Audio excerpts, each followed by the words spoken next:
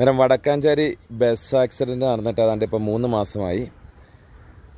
ആ ഒരു ആക്സിഡന്റുമായിട്ട് ബന്ധപ്പെട്ട് ഗവൺമെന്റ് പല തീരുമാനങ്ങളും എടുത്തു. ഒന്ന് രാത്രി പത്ത് മണി കഴിഞ്ഞിട്ട് യാത്ര പാടില്ല. അങ്ങനെ പല തീരുമാനങ്ങളും എടുത്തിട്ടുണ്ട്.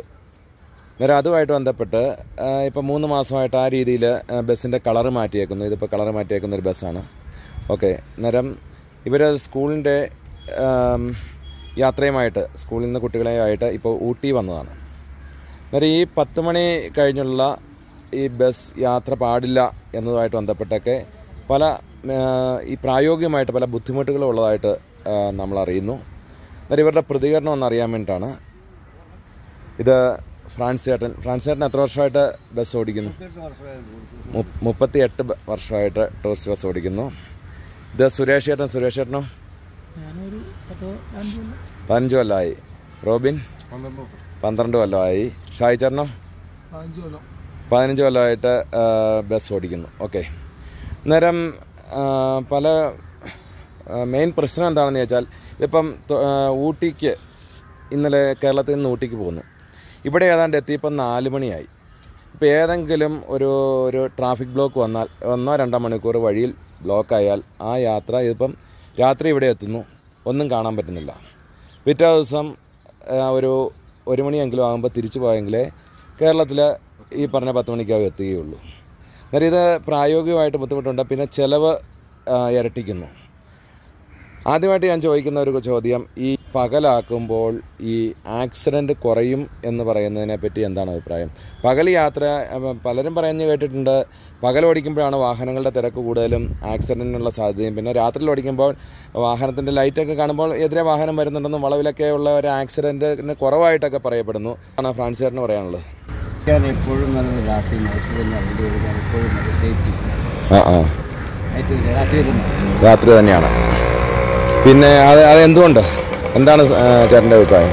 എന്തുകൊണ്ടാണ് അത് രാത്രി എന്തുകൊണ്ട് എന്തുകൊണ്ടെന്ന് പറഞ്ഞു കഴിഞ്ഞാൽ ഒന്ന് ഇപ്പോൾ ഊട്ടി ട്രിപ്പ് എന്ന് പറഞ്ഞാൽ ഞങ്ങൾ വൺ ഡേ വന്നുകൊണ്ടിരുന്ന ട്രിപ്പുകളാണ് രാവിലെ വരുന്നു വൈകുന്നേരം വരുന്നു രാവിലെ ഇവിടെ വരുന്നു എല്ലാം കണ്ട് വൈകുന്നേരം തിരിച്ചു പോകുന്നു. ഓക്കെ ഓക്കെ ആ. അത് ഇരട്ടി ചിലവ് അതായത് മൂന്ന് ദിവസം ആകുമ്പോൾ പാർട്ടിക്ക് ഇരട്ടി ചിലവാണ് ഇതിനകത്ത് വരാൻ പോകുന്നത്. സമയത്ത് പാർട്ടിയുടെ ഒരു കാര്യങ്ങളും ക്ലിയർ ആയിട്ട് നടക്കുന്നുമില്ല. ഓക്കെ. അപ്പോൾ ആ ഒരു തീരുമാനം തെറ്റാന്നാണ് എന്റെ അഭിപ്രായം. അത് ചെലവുമായിട്ട് ബന്ധപ്പെട്ട് ആക്സിഡന്റുമായിട്ട് ബന്ധപ്പെട്ടുള്ള കേസ്. പകലാണ് ആക്സിഡന്റ് കൂടുതൽ സംഭവിക്കുന്നത്. അതെന്താ കാരണം? ട്രാഫിക് കുറവാണ്. പകൽ കൂടുതലാണ് ട്രാഫിക് ഓക്കെ ഓക്കെ. രാത്രിയിൽ കുറവാണ്.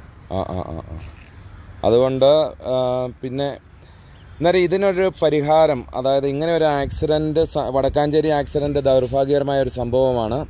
അത് സംഭവിച്ചത് അത് എല്ലാവർക്കും അതിൽ ദുഃഖമുണ്ട്.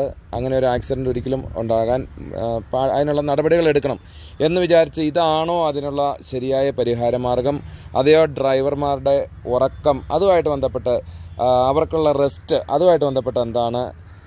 ആരാണ് ഇതിൽ പ്രതികരിക്കുന്നത്? ആർക്ക് വേണേലും പ്രതികരിക്കാം. ഓക്കെ. ഡ്രൈവർമാരുടെ ക്ഷീണം എന്ന് ഉദ്ദേശിച്ചാൽ പെറ്റ ക്ഷീണമാണ്. കാരണം പകൽ ഒരു രീതിയിലും ഒന്നും ശാന്തനം ഉറങ്ങാനോ പിടിക്കാനോ പറ്റില്ല രാത്രി എന്ന് പറഞ്ഞാൽ കുട്ടികൾ പോന്നാൽ ഒരു പത്ത് പന്ത്രണ്ട് അവർ പാട്ടും കൂത്തൊക്കെ നിൽക്കും. അപ്പോൾ ഒരാൾക്ക് സുഖമായിട്ട് വന്ന് ഉറങ്ങാം. ഒരാൾക്ക് ക്ഷീണം വന്നാൽ അടുത്താൾക്ക് മാറി നിൽക്കാം. ഇപ്പൊ പകൽ മുഴുവൻ ഇരിക്കണോ? രാത്രി ഇവിടെ വരുമ്പോഴും ഇവിടെ വന്ന് കിടക്കുമ്പോൾ പത്ത് പതിനൊന്ന് മണിയാവും.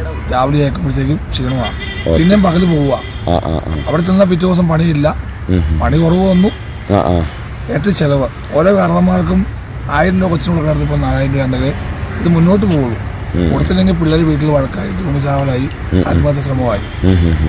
കാരണന്മാർക്ക് ബാധ്യത കൂടി. ഇതുകൊണ്ട് എന്ത് സഹ എന്ത് മെച്ചം കിട്ടിയെന്നുള്ള സർക്കാർ എന്ന് പറഞ്ഞ. ഗുണം നമുക്ക് വലിയ ഗുണമായിരിക്കും അത്. ഓക്കെ. ഞങ്ങളെപ്പോലെ സാധാരണക്കാരാണ് ജീവിക്കാൻ നടക്കുന്നത് ഒരാൾ തെറ്റ് ചെയ്തു എന്ന് പറഞ്ഞാൽ ഈ കേരളം മുഴുവൻ ക്രൂശിക്കേണ്ട ആവശ്യമുണ്ടോ? തെറ്റ് ആര് ചെയ്താലും തെറ്റ് തന്നെയാണ് അങ്ങനെ ഒരു മെയിൽ ഈ കളർ മാറ്റിയതിനൊക്കെ അംഗീകരിക്കുന്നു. നമ്മൾ അതിനൊന്നും എതിരില്ല. അതൊക്കെ നല്ല നമ്മളതിനൊന്നും എതിരില്ല. കളർ മാറ്റിയത് നല്ല കാര്യം. കാരണം എല്ലാം ഒരേ നിൽക്കുന്ന നല്ല ഭംഗിയുള്ള വണ്ടിയാണ് അത് ആവശ്യമാണ്. പഴയ ആൾക്കാർക്ക് പോടാ ഈ വണ്ടി പഴയ വണ്ടി എല്ലാവരും ഈക്വലായിട്ട് ഓടുന്നുണ്ട് സൗണ്ട് സിസ്റ്റം ആവശ്യമാണ്. അന്നേരം അത് അംഗീകരിക്കുന്നു. അത് നല്ല നല്ല കാര്യമായിട്ട് സംബന്ധിച്ചും കുട്ടികളുള്ള കാരണന്മാരെ സംബന്ധിച്ചും ഭയങ്കര ബുദ്ധിമുട്ടാണ്. കാരണം ചെലവ്. ഓക്കെ. സമയം. സമയം. രാവിലെ ഓടിക്കുമ്പോൾ നമ്മ ഇപ്പൊ ഡ്രൈവർമാരെ സംബന്ധിച്ച് രാവിലെ ഓടിക്കുമ്പോൾ ചേട്ടന്മാർ ടയർഡാണ് കൂടുതലാവണം.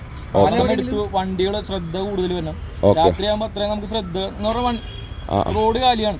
വണ്ടികൾ എതിരെ വന്ന വണ്ടികൾ നമ്മൾ നോക്കിയാൽ മതി. വലിയ സൗണ്ടും കാര്യങ്ങളൊന്നും ഒന്നും വണ്ടിക്കകത്തില്ല. ശാന്തിയായിട്ടിരുന്ന് എല്ലാവർക്കും ഓടിക്കുക. അപ്പോഴാണ് ശരിക്കും നമ്മൾ ഇപ്പൊ നമ്മ രണ്ടുപേരുണ്ടെങ്കിൽ നമ്മ രണ്ടുപേരും എൻജോയ് ചെയ്ത് ഓടിച്ച് റിലാക്സ് ചെയ്ത് ഓടിക്കാൻ പറ്റും. ഓക്കെ ഇതാകുമ്പോ ക്ഷീണം കൂടുതലാണ്. അതങ്ങനെ ഒരു ബ്ലോക്ക് ആയാൽ പിന്നെ നമുക്ക് അത് മെയിന്റെയിൻ ചെയ്യാൻ പറ്റില്ല. ഈ അറുപത് മൈൽ സ്പീഡിൽ പോയിട്ട് അതങ്ങനെ ഒരു ബ്ലോക്കായി കിട്ടിക്കഴിഞ്ഞാൽ പിന്നെ സമയം പിന്നെയും പുറകോട്ട് പോകും. പിന്നെ സ്പീഡിനെ പറ്റി അത് വിവാദമാണോ എന്ന് എനിക്കറിയത്തില്ല. സ്പീഡ് അറുപത്. അത്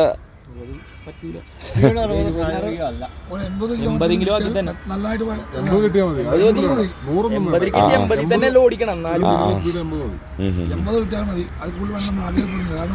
നമ്മൾ ഹൈ റേഞ്ചിൽ കുഴപ്പമില്ല കേട്ടോ. പക്ഷെ നമ്മ അല്ലാണ്ടുള്ള ഇപ്പൊ ബൈപ്പാസ് പോലത്തെ റോഡുകളിൽ പോകുമ്പോഴത്തേക്കും ഈ അറുപതിലും സ്പീഡ് ഈ അറുപത് കിലോമീറ്റർ സ്പീഡിൽ ഓടിക്കുമ്പോൾ ഉള്ള ഒരു ബുദ്ധിമുട്ട് ഞാൻ പറയുന്നത് പുറകിൽ വരുന്ന വാഹനങ്ങൾക്ക് എൺപത് കിലോമീറ്റർ സ്പീഡും നമ്മൾ ഈ അറുപതിൽ വഴി ബ്ലോക്ക് ആക്കുവാണോ എന്ന് ഒരു ഡ്രൈവർ നിലയിൽ എനിക്ക് സംശയം തോന്നുന്നുണ്ട്. അതിനെപ്പറ്റി എന്താണ് അഭിപ്രായം? ട്രിപ്പ് പോയാലും ചോദിക്കും. വയ്യ പോണെന്ന് ചോദിക്കും. ഓടിക്കാൻ ചോദിക്കും. ഓടിക്കാൻ പഠിക്കണേന്ന് ചോദിക്കാറുണ്ട്.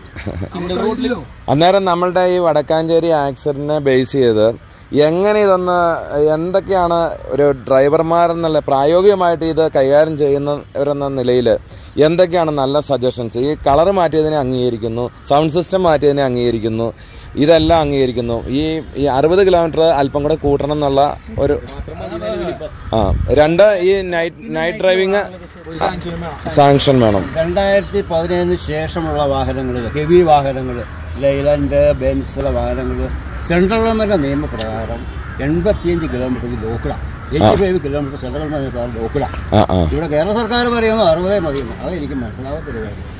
കേരള സർക്കാരിന് വേണ്ടി എന്നിട്ട് ഓടുള്ള നൂറ് നൂറ്റിപ്പത്തും വെച്ച് അപകടങ്ങൾ ഉണ്ടാവണ്ടേ? ഡെയിലി ഓരോ K S R T C അപകടങ്ങൾ ഉണ്ടാവുന്നുണ്ട് ഏറ്റവും അപകടം സ്പീഡ് കൗണ്ടർ ഒന്നുമില്ല ഏറ്റവും അപകടം കുറഞ്ഞത് ടൂറിസ്റ്റ് വണ്ടിക്കാ. അത് നമുക്ക് Keralam പരിശോധിച്ചറിയാം. K S R T C ഡ്രൈവറുടെ ഭാഗത്ത് തെറ്റുണ്ടെന്ന് കണ്ടുപിടിച്ചിട്ട് ഇന്നൊരു പിന്നെ ഇന്നൊരു വാർത്ത വന്നിട്ടില്ല. ഈ വാർത്തയെ വന്നിട്ടില്ല. അങ്ങനെ ആർക്കും യാതൊരു പ്രശ്നങ്ങളും ഉണ്ടായിട്ടില്ല. അറ്റവും തെറ്റ് ചെയ്തു. ഞങ്ങൾ അംഗീകരിക്കുന്നില്ല. തെറ്റ് തെറ്റ് ഞാൻ ചെയ്താലും തെറ്റ് തെറ്റ് തന്നെ. എല്ലാം വണ്ടി ഓടിക്കാണ്ടിരിക്കും. അവൻ ലൈസൻസ് കൊടുക്കാൻ ചെയ്യുന്നത് ഒരു കാലത്ത് അവൻ എത്ര വയസ്സ് ആയുസുണ്ടോ ലൈസൻസ് കൊടുക്കരുത്. ഒരു വണ്ടിയുടെ അത് നല്ല കാര്യമല്ല പക്ഷെ K S R T C തെറ്റ് തെറ്റുകളെ അവർ തന്നെ കണ്ടുപിടിച്ചു. പക്ഷെ അവന് സസ്പെൻഷൻ ഇല്ല പേപ്പറിൽ വാർത്തയില്ല ഒന്നുമില്ല. ഞങ്ങളെപ്പോലെ എന്തെങ്കിലും കാണിച്ചാൽ പ്രതികരണമാണ്.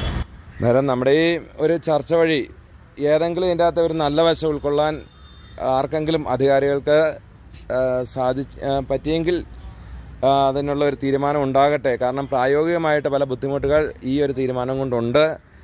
ഹെൽപ്പ് ആകട്ടെ ഈ ഒരു പ്രതികരണം എന്ന് പ്രതീക്ഷിക്കുന്നു. ഓക്കെ. പ്രതികരിച്ച എല്ലാവർക്കും നന്ദി.